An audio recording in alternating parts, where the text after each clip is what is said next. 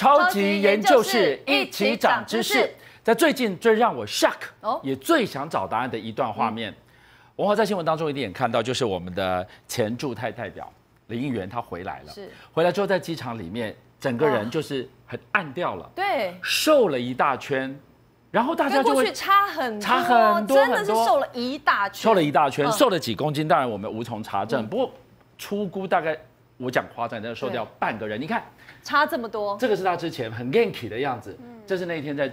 机场啊，大家拍到的样子，就是说，后来他给我了一个答案，就是说，在五月份，因为这个所谓的大肠杆菌的感染，嗯，大肠杆菌会瘦一个人瘦掉这么多吗？对，我们听到大肠杆菌，你会觉得说，好像就是拉拉肚子几天，可能就会恢复，有可能会瘦这么一大圈吗？不过其实肠道，很多人说它是免疫器官，对，所以肠道要顾好健康，真的是不可以轻忽。今天就要和大家一起来聊聊。够梗空，马爱找答案。我先来介绍今天参与讨论节目来宾，欢迎资深媒体人盛梅。大家好。为大家邀请到是二十年的医药记者慧文。主持人好，大家好。同时为大家邀请到是肝胆肠胃科的医师朱光恩朱医师。大家好，主持人好。好，另外是曾经是我们是大肠癌末期的病患沈兰婷。主持人好，大家好。好，他当年二十八岁就不幸罹患了大肠癌，原本说寿命可能剩不到三个月。稍后会来分享要怎么样战胜病魔。好，另外还有我们的营养师高敏敏，主持人好，大家好。好，我们刚刚谈到了从这两个对比的照片，前驻泰代表林应元回来瘦一圈，他到底身体出了什么状况？而这样子的身体上的情况。哪里没有注意到呢？会不会发生在你我的身上？是李议员到底怎么了？我先讲，他今年六十八岁，他是在去年五月的时候就任我国驻泰大使。那当时呢，其实有一段影片，大家发现其实他神采奕奕，就是这边这个样子，有没有？对，啊，精神各方面都非常好。但是在今年四月的时候，泰国有泼水节，那驻泰这个代表处呢，他们有发布了一个影片，也一样是李应元拍这个影片的时候，今年四月哦，就发现嗯不太对劲，因为他看起来瘦了一圈。到今年八月的时候呢，李应元主动向蔡英文总统请辞，理由就是刚刚两位主持人说了，他因为大肠杆菌影响了他的身体健康，尤其他是在今年五月的时候生病，对，那他需要休养一段时间，所以他必须回来。那八月多在机场，大家发现，嗯。不知道哪里怪怪，是因为如果是大肠杆菌，怎么会瘦了快二十公斤？快二十还有，请注意哦，你看一下你那个图片，李应元的脖子，脖子这里。对，因为戴着口罩嘛，哈，对，已经你你看那个脖子的位置，就觉得已经暴瘦到我们很难想象。这是第一件事情，这领子这样看都看起来空空的，对不对？太瘦了，所以大家好担心。那第二件事情，虽然戴着口罩，可是各位都知道，还是看得出什么气色，他的皮肤。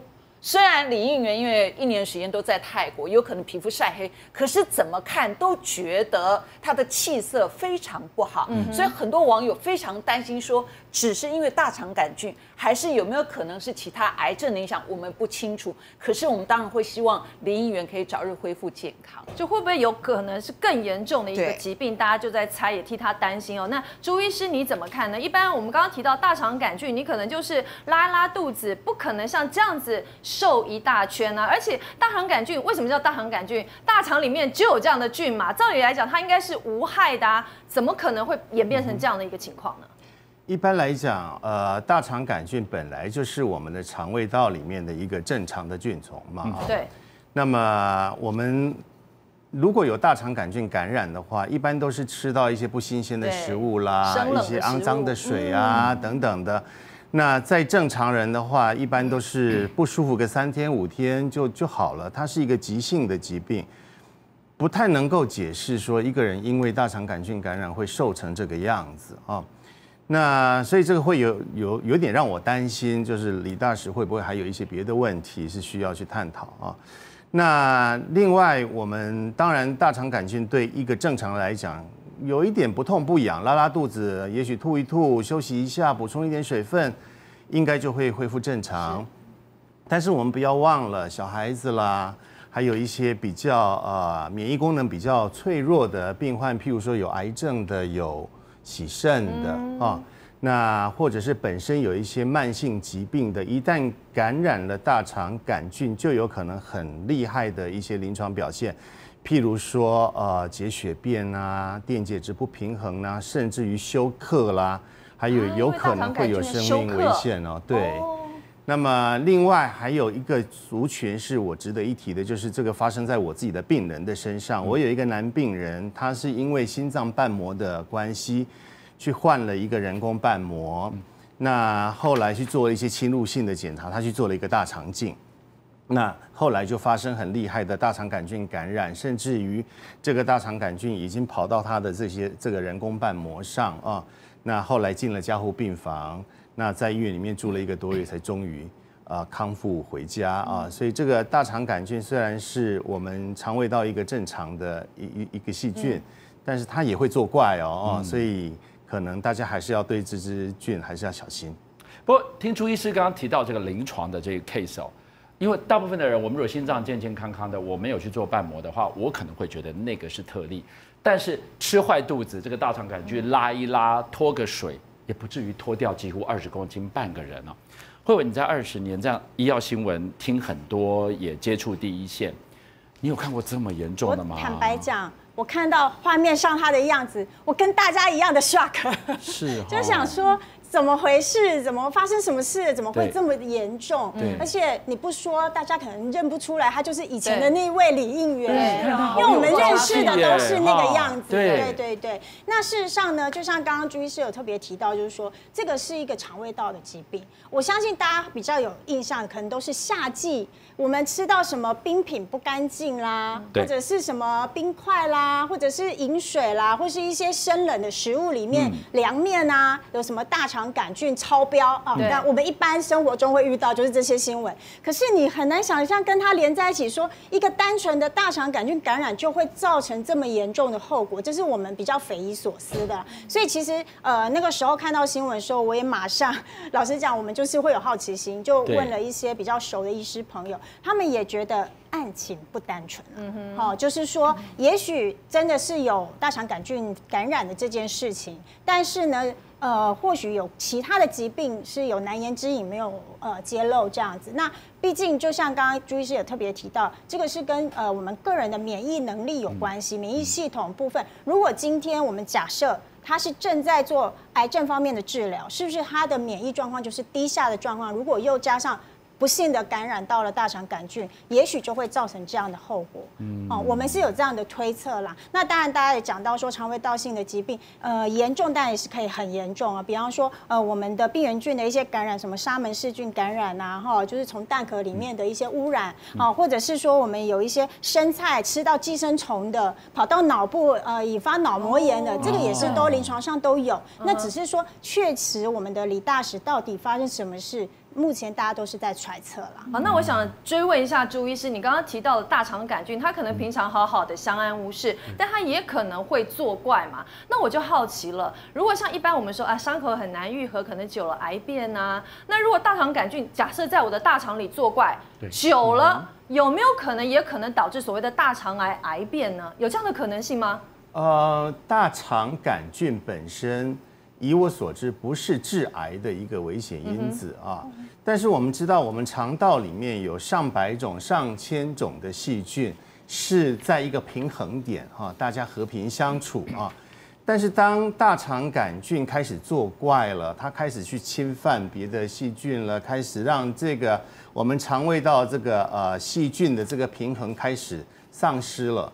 那有一些文献啊，尤其是最近有一本很重要的一个杂志，就是美国的 Science 啊，这个科学杂志，它就有一些研究说，哎，大肠杆菌如果开始作怪的话，在一个长久的一个状态，有可能会去侵犯我们的肠胃道的黏膜，甚至于去啊伤害这个细胞的 DNA，然后产生开始产生一个大肠息肉，又从息肉里面产生一些癌化病变。对，所以。呃，也许大肠杆菌它自己不是直接会去致癌，但是也许它作怪的时候，当我的肠子的这些细菌开始不平衡的时候，在一个长久的一个发炎的状态，就有可能导致我们呃罹患癌症。这个目前是一个推论。那所以你来看，如果像这样突然暴瘦，或是我真的肠胃长期的不舒服，像你说的，可能菌丛之间失去平衡的话，我是不是就真的要赶快去检查？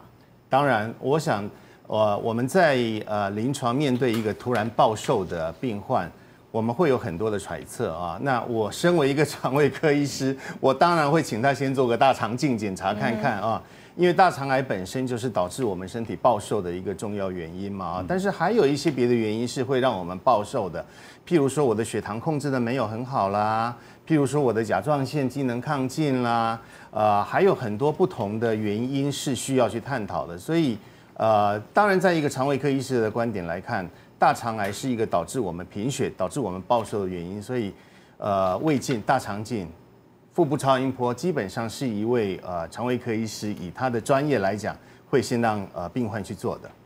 好，不过听下来，其实大肠癌哦，是你我可能身边的人都会遇到，甚至你我都会遇到，因为这个真的是呃。诱发的情况真的是太普遍了，所以我们今天还邀请到这位曾经是大肠癌末期的患者，他待会就要来分享他二十八岁当初怎么样发现自己罹患了大肠癌，又是怎么样战胜病魔的。我们先休息一下。你怎么吃就决定你怎么活，要健康的吃才能够健康的活你的每一天。今天我们在聊到大肠的癌变，这个就是现代匆忙的文明人最害怕的。一个麻烦事，今天我为大家邀请到的是现现身说法了兰亭。兰亭本身是一个大肠癌的患者，你跟老天爷借了十多年的时间，老天爷可能会给你更多。为什么？他离癌的那一年好年轻，嗯，他末期了，末期的居然又战胜了这个这个癌细胞。你来告诉我们，你怎么被挑上的？对，那时候我觉得，其实我在二十八岁的时候就是确诊罹患大肠癌。那我那时候工作呢是属于业务员的工作，所以其实业务线的工作其实是非常的忙碌的，然后再加上其实我对自我的要求啊期许其实是非常的高，所以相对的我给自己压力也很大。嗯嗯，所以所以这样的情况下很忙碌的情况下，你吃也没吃好，睡也没睡好，很晚睡啊要早起，这样子，所以生活形态是整个就是其实是一个大乱的情况下。然后再加上觉得自己年轻嘛，根本没有可以冲对哦，对，年轻可以冲嘛，对对，有体力这样子。那所以其实真的就忽略了。再加上我吃就是吃外食，在路上啊，肚子饿的时候看到外面什么好吃的，哇，炸的看起来就特别的好吃，特别的香。所以呢，常常是像炸鸡排啊、排炸排骨之类的那种。呃，东西那种重口味的炸的，常常是三餐都这样吃没有三餐这样会太多。常吃啊，因为很多人几乎都是这样，所以我才好奇说你的常常是多频繁？就，因为没有太没有特别去记，可是真的就是常常，你有时候可能看到啊，就会买一点买一点，就想要填饱肚子这样子。那在这种忙碌的情况下，你当然不可能是真正去考虑到食物有没有健康，然后呃好好的品尝食物美味，一定就是囫囵这样吃。就像在这样的生活的情况、那作息下，其实后来我开始发现，哎，身体怎么越来越累了？嗯，身体越来越累。一开始是从疲累开始感知到不太对劲。对，没错。那是什么样的感觉让你注意到不对了？就呃，身体开始疲累，然后再加上你走路、爬楼梯开始会喘。你才二十八岁耶？对啊，我那时候也不知道，我以为我自己是可能缺乏运动，缺乏运动，真的是缺乏运动。然后呢？对啊，然后那时候就就觉得，哎。似乎就是有时候肚子也会偶尔痛，然后就偶尔痛阵痛一下啊，后来又不痛了。然后我那时候有去就是给医生看，就说哎，我我我就跟他讲那状况。然后后来就是当然去看的时候也不痛啦，嗯。然后医生就问说，嗯，你是怎么？我说哦，有时候会痛啊，嗯，对。然后肚子觉得胀胀的，嗯。那这样，然后医生就说，医生检查一下就说，呃，你就吃坏肚子啊，年轻人不要乱吃，嗯。然后止痛药、消炎药给我这样子，那所以。后来其实自己就忽略，就觉得哦，那应该没什么，嗯其实就不会太去在意。嗯一直到我就是开始变得脸色苍白，是我朋友提醒我，他说：“哎，你怎么看起来脸色有点苍白？”对，他就说，他就说，你可可以让我看一下，就是让我让他看一下我的下眼睑嘛。你可以翻一下给我们看，你再近一点看他的眼睛，可以。对，那时候是全白的，他现在是红的。你现在是健康的眼睛，对不对？对对对。所以当时你就是压压这样给他压下来看，全就是都是白的。啊。他就说你这样不对不对，对，然后你要你要赶快去挂急诊。然后后来就是我去挂了急诊之后，然后检查出来做一下肠镜、胃镜，然后电脑断层，然后抽血检查，整个数值其实是乱掉的。后来就在我的升结肠的部分发现肿瘤，去化验确诊是癌症。那那个那个那个 moment，你你觉得你只是累，你只是乱吃而已。是你仗着二十八岁的的新鲜的肝的身体，你那个那那个当下被宣判的那个当下，你是什么心情？其实那时候是很震惊，可我最震惊的一点是，我就是那时候不是就是确诊癌症之后就进入一系列的治疗，开完刀就开始开刀，然后进入化疗。最让我震惊的一点是，在我。原本原本以为我就是哎，我可能恢复了健康，因为治疗都做完了嘛。嗯，对啊，你感觉哎恢复健康了，然后就去医医院听回诊报告，结果不到半年的时间，医生告诉我说你变末期了。啊，已经治疗了，结果不到半年变末期，他很年轻啊，哦，半年而已，从二期对变末期，不到半年时间哦变末期，天哪，那时候真的很 shock。有宣判说你剩多久的寿命吗？其实我医生都会这样讲吗？对，有就有点不敢问。医生应该也没那么残忍，说哎，你只剩三个月不到哟。没有没有，对我是后来恢复健康之后，我才问医生说，医生我依照我当时就是末期的时候嘛，是呃大肠癌已经转到腹膜了，再加上也淋巴就是都扩散了。对，所以医生那时候说你开刀也没办法开刀，你就是试试看化疗可不可以还有没有帮助这样子。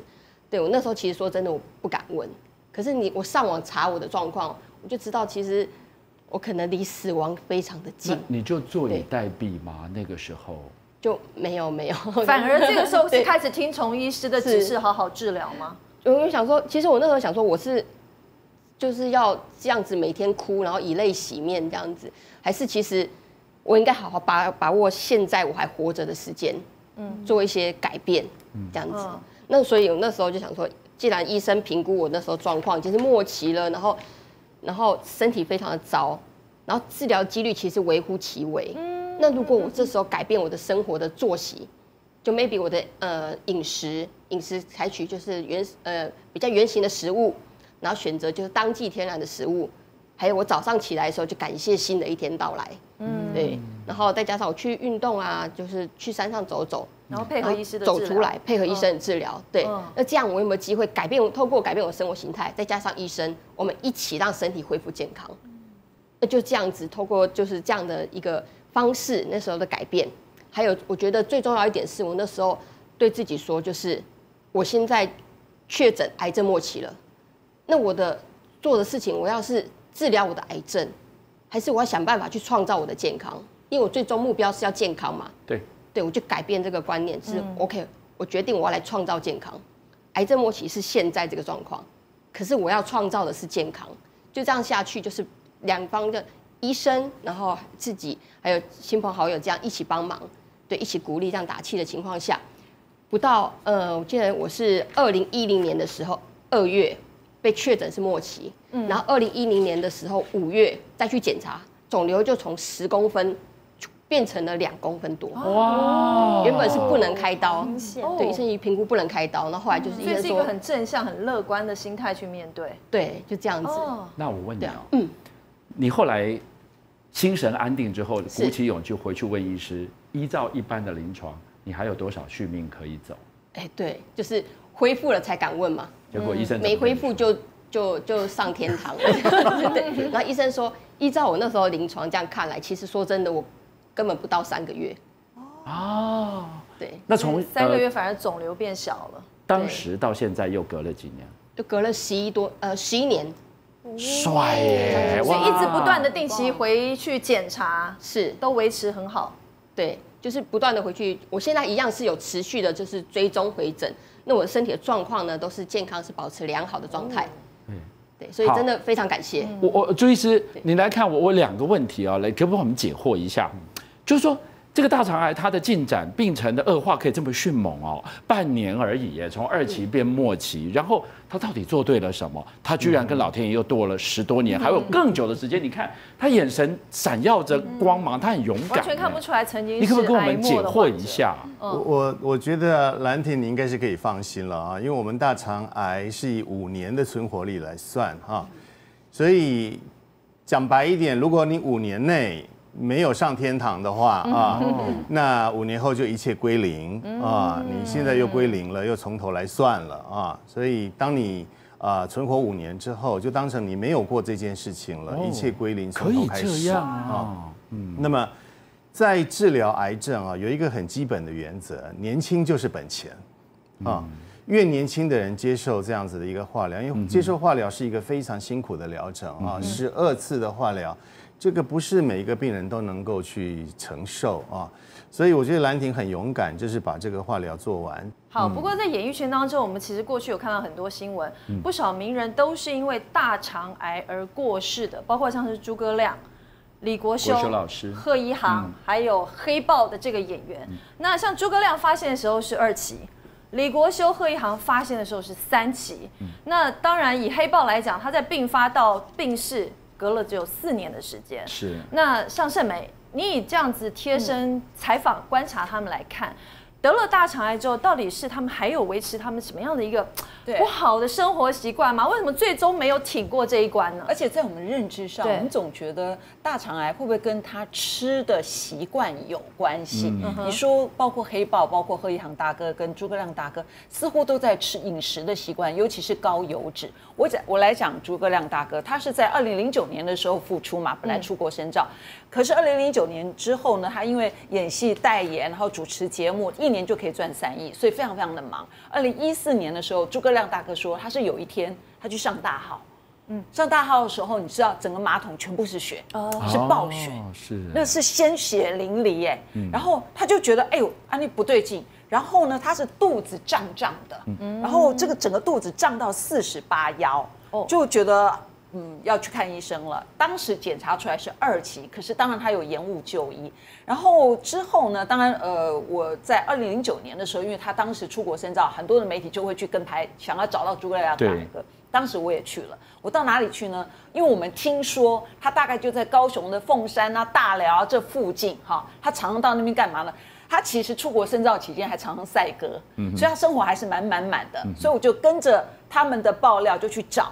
那就发现呢，最后没有拍到诸葛亮大哥，但是拍了一系列诸葛亮大哥的美食地图啊，他吃过的我都去吃，因为总是有人爆料说，我赶紧供哦，他好在那个夜市，每天下午一定去吃什么呢？那个牛排，就是那种你知道，就是摊子那种铁板牛排，然后我就是我就会去吃，吃的时候我就问老板娘说，那他都常来吗？他说。他每天来哎，每天来请问铁板牛排，每天吃铁板牛排也不太好吧？对对对，因为我吃了一克，我觉得真的蛮油的。除了这个之外呢，各位知道吗？有些男生很喜欢吃香肠。因为他喜欢跟香肠摊的老板聊天，一边啃一个大蒜，一边就等他烤那个香肠。可是各位，如果偶尔吃那就算了，然后因为中秋节要到，烧烤就会难免会吃。但如果你每天吃一根的话，千万不行。对，这种烧烤，然后再来他被拍到的时候是吃什么哦，那有什么不可以吗？有些是加工食品，不要忘记了，它不是原形食物。刚刚有提到吗？你很要吃原形对，那你有没有发现，其实诸葛亮大哥有二十六年的烟龄，他曾经一天抽五包烟。按照这种生活方式，是造成他会不会后来其实癌症的状况非常严重的原因。再来。贺一航大哥也是类似的状况，因为他检查出来的时候已经三期了。他做了这个手术之后，他不做化疗，他就手术。然后我曾经跟他吃过饭，我觉得他蛮好，是因为他胃口还是蛮好的耶。嗯，比如说这个鱼啊、肉啊，比较肥滋滋的这些东西，他还是吃的蛮开心的。那也是跟他的这个呃抽烟，然后喜欢吃高油脂的食物有关。还有一件事情啊，各位，其实为什么讲养病养病？生病了哈，就要休养。嗯，可是这几位大哥似乎在生病的时候都努力在工作当中。其实这样的状况放不下，会让癌细胞只会越来越大。所以就是我说，怎么吃决定你怎么活。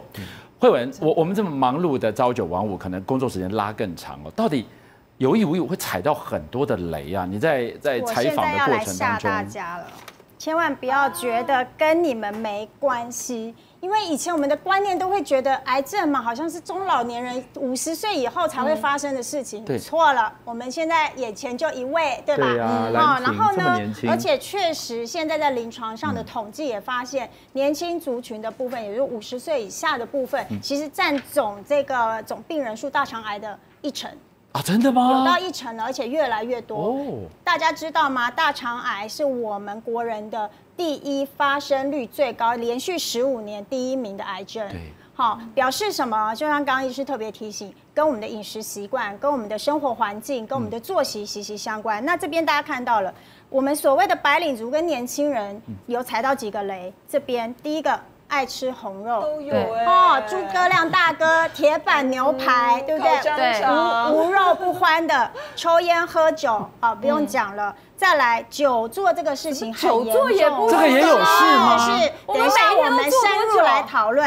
再来精神压力大，就是工作压力啊，各方面的压力等等。好，那久坐这件事情呢，其实在近几年一直有被提出来讨论，而且甚至在国外的很多的文献都已经有证实，其他癌症不要讲哦，大肠癌的相关性已经被证实了。它可以，如果你今天久坐，国外的一个研究是，呃，一天超过八个小时以上的人。都不动，坐着不动的话，你的增加的这个风险到两成四，大概增加四分之一的风险。那确实，在我们过去，比方说我们的呃台湾这基金会也特别针对上班族群有做过统计。这些上班族群呢，分两组，哈，一组是呃已经检查出有息肉的，一组是没有息肉的。那我们大家知道，息肉肠道里的息肉其实就是大肠癌之后癌变的一个前前期了，哈。那这些有已经有息肉的人，确实他的关联性是什么？他可能就是加班哦，长时间的加班，然后呢，他的这个饮食不定时啊，或晚睡，好这些事情，还有一个就是久坐，至少每天都会坐超过六个小时、八个小时。我我都有哎，我三年前去体检，跟我太太就这样一觉醒来，然后就处理完了，就从屁股插进去，然后。也也有息肉哎，哦哎，我都有哎，非常多人有，但是你如果没有筛检、没有检查，你根本不知道，因为没有感觉。而且你不要觉得，呃呃，你不抽烟、不喝酒就跟你没关系，是，光是最后这两项你就跑不掉了吧？谁压力不大？谁不久坐不动啊？大家都是这样。跟大家分享一个案例，有一个比他更年轻的案例，二十六岁一个女生哦。几年前我们就是新闻有报过，就是她那时候是呃，等于大家算一算年纪，应该是刚毕业出社会没多久，一样就是也自我要求很高，觉得我要工作上非常的拼，好想要趁年轻就好好打拼，那也很认真。所以对她来讲呢，加班是家常便饭，然后呢，这个饮食不正常也是家常便饭，可能。肚子饿了，跟你一样，就是想吃就吃啊。如果一忙忘了就没吃，这样。那有一天他也是第呃一开始感觉到腹痛，那他觉得是什么？他说：哎，可能是我的呃生理期提早来了，完全没有想到是癌症那一方面。一直到他大便出现了血。哦，血便的症状出来，去看医生不得了，那都已经很后期，三期了。哦，而且那个时候可能就是他也没有那么的幸运，应该也是比较早期的时候，所以他没有办法，就是后面做的治疗效果不好，所以后来这个小姐是走了，二十六岁呢，对对，非常年轻，非常年轻。另外再跟大家分享，现在很多的青少年，不要以为青少年就可以逃得了。大家有没有发现，现在青少年很喜欢在网咖也好，在家里，或是我们最近居家，长时间坐在那里就不动了。对，好，然后呢，就有一个呃国二的小男生呢，他大概就是很爱上打电动，但是呢，他就是废寝忘食的，在自己的房间里面就这样上网，就这样打，然后肚子饿了会有感觉啦啊，就吃个泡面啊，就吃个香肠啊，什么就乱吃一通，短短三年。他也是后来被确诊是大肠癌，这么年轻，在一起玩线上游戏，爱丢丢丢丢丢，我贼低下，恰恰丢，看见超美啊，我 掉掉丢，不然怎么办？重点是你也要，你也要吃的健康，对啊，是不是？每天泡面，然后再配一些有的没的？好，那朱医师，很多人都其实会有健康检查的一个观念嘛。那我去检查，其实刚刚兰婷没有讲到的是，他说他第一次有去做大肠镜的检查，但是其实。并没有检查到，嗯哼，真的会有这样子漏掉的情况吗？是为什么呢？有，当然我们呃，大肠镜当然是一个黄金标准啊，诊断大肠息肉、大肠疾病的一个黄金标准。嗯，但是它也不是百分之百，完完全全百分之百啊。我想没有任何一个医医学上没有任何一个检查是百分之百啊。那当然，如果这个大肠镜是做的很仔细啊，它会呃没有看到一个肿瘤的机会不大啊，因为毕竟它是最准确的检查之一嘛啊。那为什么我去做大肠镜，或一个病患去做大肠镜，竟然没有发现他有大肠？有几个原因可以去探讨啊。第一个原因就是说，哎，他没有遵照呃医师的指示啊。我们做大肠镜之前要把大肠清得干干净净的，最好一丝粪便都没有残留在大肠里面，才能够看得干干净净的，那么看得清清楚楚的。但如果这个大肠不干净，还有很多粪便的残留，医师再怎么小心帮你看。有些东西还是被大肠盖，这个大便盖住了，可能还是会看不清楚嘛啊，这个是一个呃呃受检者端的一个问题。那现在很多癌症，我们也知道说，现在大肠癌，大肠癌很多九成的大肠癌可能是。啊，有一个时间的演变，一个良性的息肉，譬如说一个良性的腺瘤，经过了五年，经过了十年，你不处理它，就会从一个良性的腺瘤变成一个腺癌啊。这个是大部分的一个呃大肠癌的一个演变。但是现在很多大肠癌是一长出来就是癌症，哎呦，它不需要从一个腺瘤到腺癌的一个时间的一个蔓延。它一长出来就是癌症，就开始扩散啊等等的啊，这也是另外一个原因。那么呃，而且这些呃一长出来就是癌症的这些肿瘤，通常很小，它就开始扩散出去。所以是我问你啊，就如果我都已经花了，哎，那个钱也不便宜。如果我要去照这个所谓的大肠镜，那你说那个没有万无一失的，那我可不可以再张一张网，我再买一个保险？我我怎么样可以去检查出我的大肠，把它看得干干净净的？有很多的检查是可以做辅助的啊，那确实大肠镜也有些时候是看不到的呃一些区域我们肠子好长啊，对不对？那就是我们讲的九弯十八拐的肠子嘛。转来转去，转来转去啊！那有些肠子，有些人的肠子就是长得特别弯，所以我们的大肠镜也许做到一百三十公分，甚至做到一百五十公分，还有一段肠子到盲肠、升结肠到盲肠的，还有一段肠子没有看到。我自己本身就有一个男病患，那么他比较胖，啤酒肚啊，那肠子也是九弯十八拐。我怎么做就是做不到他的盲肠，他的最末端的地方。后来我还是很小心的，请他到门诊再排了一个电脑断层做辅助。要做电脑断层啊？那电脑断层就是很不巧的，就在我没有。抵达的那一段肠子就发现了一个肿瘤，所以我去检查一定要问医生说，我检查完所有的肠子了吗？是的，我们应该要问医师。当我们醒过来的时候，应该要问医师说：“医师，你你都有看完吗？到到盲肠都有看完吗？”对，那我想这是一个很基本的问题，我们是可以询问医师说：“哎，或者是哎，是不是没有完成啊？啊，你做到。”什么程度啊？这是可以跟医师做咨询、做讨论的。所以不要惹病上身哦。这个大肠的坏细胞可不要发生在我们身上。明明来到我们这个地方，跟我们说说看，很 NG 的吃法是万万不可。偏偏有一种锅子，如果你错误使用的话，阿内德金价水早被败。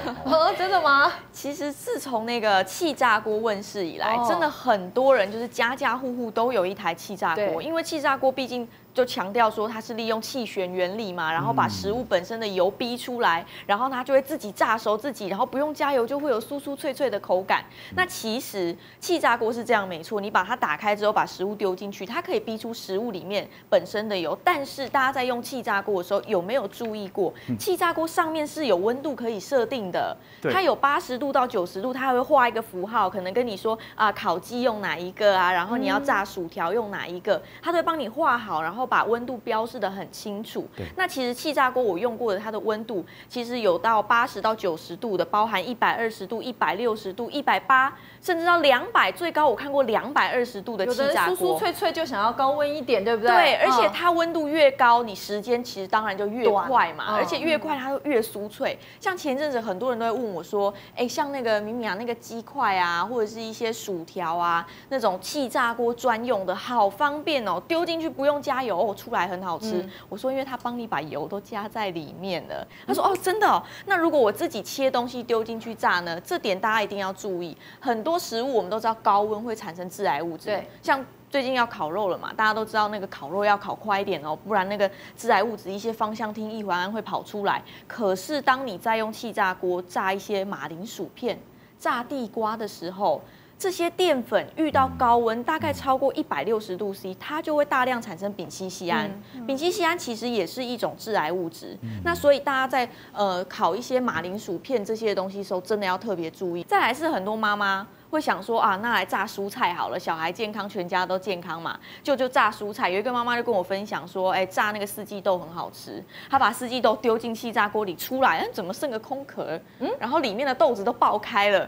你要注意，那个蔬菜本身没有油，等到你放进去炸，那个营养都流失之外，你先不要管它炸不炸得起来，营养其实都流失很多了。所以并不是什么东西都往里面丢，你一定要注意温度的设定。好，不过另外对于健康还有一个沉默的杀手，就是肝癌。对，最近有一个新闻，就是直棒过去的这个万人迷王光辉，他因为肝癌而过世。到底肝癌有多难缠呢？稍后回来来看看。好，我们看到棒球界的万人迷王光辉竟然因为肝癌而病逝，哇！这个消息一出来，俊孝我们真的都吓了一跳，因为过去都看他在打球，对不对？那当然，肝癌我们说是沉默的杀手，那么发现之后，往往也就像刚刚我们提到大肠癌一样，或许都已经是晚期末期了。那盛美，就你的了解，那么以王光辉来讲，其实他中间也有做一些积极的治疗，但是肝癌真的很难缠。这位万人迷王光辉教练，他今年五十六岁，五十六岁非常年轻哎。嗯，你要这样想，其实他应该有四十年时间都在球场。嗯，少年的时候打棒球，然后也是兄弟像很受欢迎的明星球员。之后他成为职棒的总教练。他其实是在去年球季结束的时候，发现自己的身体状况不太好，去进行检查的时候，发现罹患肝癌。可是。他检查之后已经被医生判定已经是癌末了，但是他还是做了各种的治疗，一直到今年，其实他在他离世前一个礼拜就进入了这个安宁病房。那离世的时候五十六岁，所以大家觉得很惊讶，是因为你想想看，他大部分时间都在球场上。那这位教练，他平常也教小朋友打棒球，那表示他运动量其实是非常足够的。当然，他饮食的习惯我们不知道的这么详细，可是你总觉得。在我们看来，他应该是一个非常健康的球员。那为什么这么短时间，半年内肝癌离世？那当然，之前我们也常讨论是达叔吴孟达达叔，他是也是肝癌，但是他当时是因为又抽烟又喝酒。你大家也知道，其实演员哦，这个作息比较不正常。但是他罹患肝癌之后，他是有戒烟戒酒，而且过了健康的生活。但是还是难敌病魔，可见肝癌对很多艺人或名人来说都是很严重的杀手。就这个杀手是安安静静不说话的，他是沉默的杀手。你刚提到了一个，我觉得就就最讨厌的是他没有痛觉，等到你觉得不舒服的时候，哎，容易给他胃啊胃呢。所以或者你在线上在看的时候，到底可不可以让我们有一点点机会，争取点钱，这样超前部署，好歹让我知道说我可以怎么来对付他。第一步，你一定要知道自己有没有 B 肝、C 肝的带源。你要做抽血检查，然后去了解你自己身体的状况。之后，如果你真的是带源者，你就必须一定要定期的回诊，定期的做追踪。嗯，很多人都是第一关就不知道了，我根本不知道我自己有没有 B、C 肝。不会痛哈。然后呢，第二关是啊，知道了。逃避心态啊，或者是啊没关系啦，不严重啦，我不想知道啦，我也不回去就消失了，然后就没有追踪，等到一回来门诊，连医生都束手无策，这种很多。那我们必须讲，就像刚刚一直在强调说，为什么沉默器官？因为肝脏没有神经，嗯，除非你的肿瘤已经大到很大了。已经让你已经出现对出现了一个相关的其他的部位，比方说其他的器官压迫到了，让你觉得疼痛，你才会去发掘它。我们就看过非常多的，像过去曾经有一个案例，他是哦，也是一个年轻的 OL，三十岁而已哦，他的肚子里藏了一个十八公分的肿瘤，没有感觉，十八十八？公分，这么大。那个都都还不是最大的哦，哈，但是他可以没有感觉。那当然，这个案例他后来为什么会发现，是因为他就是呃觉得是那个自己是不是工作压力大，我肚子痛，有有一点痛的不舒服的感觉了。可是事实上他不是，而且也有很多人因为那个挤到我们的胃，长的肿瘤长的位置会够大的时候，它会挤到你的胃，让你觉得一直以为是胃痛，拼命吃胃药，结果都不是。那可能就是一个肝肿瘤部分，那你一定要经过检查才会知道。好，那朱医师，我们到底该怎么样小心肝呢？因为刚刚说检查很重要嘛，但是检查我是看肝功能的指数吗？我是看我有没有脂，很多人是检查出来有脂肪肝，这好像现代人很普遍。对，那脂肪肝会有影响到接下来可能会有更严重的后果吗？脂肪肝是什么意思？就是我们闽南语讲的瓜包油哈，就是呃肝就特别油，因为肝脏就好像是一个呃海绵一样，不断的在吸收那个油脂啊。嗯，那么。呃，脂肪肝久了之后呢，因为脂肪肝会让肝脏的细胞的新陈代谢处在一个长久呃不正常的一个状态，可能会导致我们肝脏的细胞发炎。所以很多脂肪肝的病患去抽血的时候，他的所谓的 GOT、GPT 肝功能其实都会上升。嗯，那是表示肝脏在发炎嘛？啊，肝脏如果没有发炎，GOT、GPT 怎么会上升呢？那久了之后，脂肪肝久了之后呢，它可能就是一个呃慢性的肝脏发炎，也就是肝炎啊。然后呢，慢慢的就进展到肝硬化啊。那我觉得脂肪肝，如果你不去处理它的话，其实它是有它的重要性的，因为你脂肪肝一直不处理，二十年、三十年之后，可能有百分之二十到三十的呃患者会进化。啊，变成进进入一个肝硬化的一个就变成肝硬化，比例很高哎。哦，那又从这些二三十个 person 进去到肝硬化的病患中，大约至少有三到五个 person 可能也会呃发展成这个肝癌啊。嗯嗯。所以这是一个三部曲：慢性肝炎、慢性肝脏的发炎、肝硬化、肝癌。所以有脂肪肝就是要赶快处理，是的，要轻忽。脂肪肝是可逆的啊，不是说脂肪肝在了就永远在哦。其实我自己本身曾经胖到一百零五公斤左右了。哎呦，你现在几公斤？我现在大约八十五到九十。哇，那少了我就瘦了十五二十公斤。你刮包油，你也刮就油哦。那我的肝脏，呃，在我一百零五公斤的时候。我的同事帮我做超音波都说哇，你的脂肪肝有够厉害，好富贵哈，都是有的。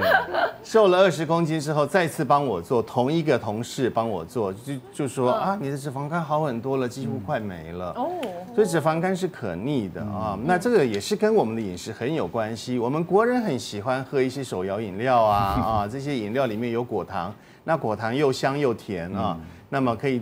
代替一些什么呃糖分啊等等的，但是我们知道果糖对肝脏这个脂肪肝的一个呃机转也是很重要的，所以只要不吃甜，因为美国有一些在欧美有一些文献一些研究就是呃报道就是说，如果你停止去吃这些甜食，你少吃甜十天左右，就可以很明显的看看得出来一些在肝脏的脂肪的一些变化啊。所以我们的饮食，这个吃糖分这件事情，对脂肪肝不只是吃油腻的东西，呃，对脂肪肝是很有影响的。那还有一个迷思就是说，那我很瘦的人不会有脂肪肝吗？其实我每天做这么多超音波，很多很瘦的人一样有脂肪肝，因为他虽然看起来外表瘦瘦的，那么他喜欢吃甜啊，喜欢吃油啊，一样有脂肪肝呢。所以我要告诉这边呃，跟跟大家呃提醒的一件事情，说脂肪肝虽然我们常常听到这三个字，但其实如果你久了，你放久了，你不管它，它其实是会有一点严重后果的，所以一定要小心。那我们常常说这个眼睛看到这个发黄，是不是真的这个部分要看的话就要注意了？对，这是一个很好的问题。我们肝不好要看我们的身体的哪里？对，看我们的眼白。哦，我们眼睛白白那个地方，如果是变得是变变得是黄黄的，那很可能就是肝脏有问题了，就是关其眸子人焉收这一定要看。那皮肤如果黄嘞？那我的皮肤很黄，但是我眼睛白的不得了，很白的眼睛，但是眼的皮肤就是黄黄的，这样可以吗？那可能就是你吃了太多胡萝卜了，吃了太多南瓜了，肝脏不好要看我们的眼白，眼白。会变黄。啊，那个才叫做黄疸，皮肤黄黄的，眼睛白白的，那个不是黄疸啊。好，刚刚一直强调说吃很重要，所以怎样避免癌症早上升呢？哎，待会营养师要教我们非常简单自己做的好食物，我们马上回来。好像上班族如果中午吃午餐，很多都是油腻腻的便当，排骨便当啊，对，或者是微波食品啊。那敏敏，我想请问一下，如果在这么忙碌的现代人当中，我们怎么样用最短的时间、最简单的方法，能够推荐一个减少慢性病的好食物吗？好，没问题。其实，在营养门诊上，真的很多患者会来跟营养师告知，说他真的不是不想要健康，是外面真的就是那些食物。所以，我会跟他们说，好，如果你知道你的饮食就是缺乏一些绿色的蔬菜，缺乏一些。好的水果，那你就一天帮自己打一杯绿拿铁。绿拿这个绿拿铁其实简单来说就是绿色的蔬菜搭配水果，那我们做出的一杯丰富呃蔬菜纤维、膳食纤维跟蔬果酵素的东西。那像我自己很爱地瓜叶，我会拿直接拿一大把地瓜叶，比这个甚至更多。我们一家人可以吃掉一大袋，在一一次的打果汁里面，你就把它拿去穿烫一下下，稍微有点软了烂了，你就赶快捞起来，捞起来之后丢进果汁机里。加苹果进去，再倒一点牛奶，或者是优酪乳、优格，甚至豆浆，哎，都可以，看你喜欢哪一种，把它们全部 mix 在一起，就变成我刚刚说的绿拿铁。如果你喜欢我们的节目，赶快按下频道订阅，加上小铃铛，而且推荐给一个好朋友，超级研究室，一起长知识。